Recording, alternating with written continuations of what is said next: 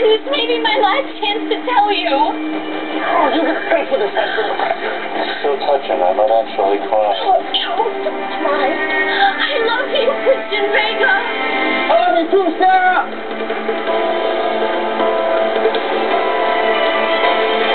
I haven't seen Sarah since uh, Nash's funeral.